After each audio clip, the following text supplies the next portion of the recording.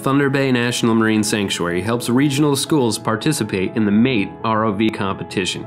The MATE, or Marine Advanced Technology Education Program, offers students from diverse backgrounds the opportunity to work in a fast paced, collaborative, and challenging environment.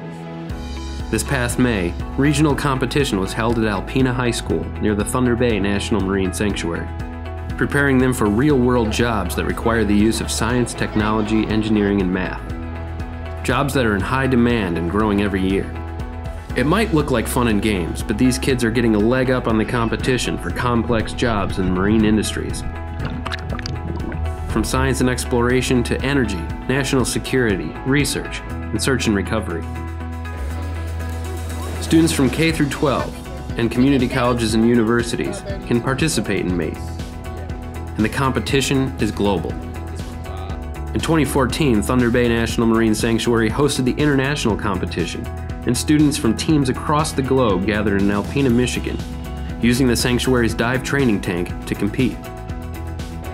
Participating in MATE is just one way the National Marine Sanctuaries are helping students and communities prepare for exciting careers in marine industries. Okay, you are now into your mission time. At the Thunder Bay National Marine Sanctuary, getting young people in the community started in high-tech marine fields is just the beginning.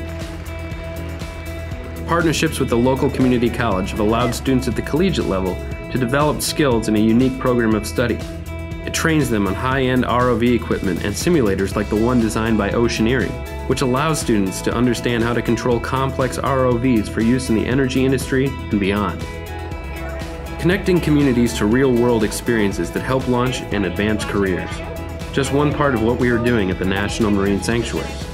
Part of Thunder Bay National Marine Sanctuary's mission is outreach and education, and this is one of the most important education uh, programs that they run each year. I teach at Alpena Community College. I do our ROV uh, technology program. It has taught us a lot of real life skills. I know a few people on my team are using the skills they learned to go on and be engineers or ROV pilots. We are both employed by Oceaneering International as ROV technicians, and we started through Marine Sanctuary and Alpena Communities College Marine Technology Program. You can learn more about the MATE ROV competition by visiting www.marinetech.org and learn more about our educational programs and partnerships at sanctuaries.noaa.gov.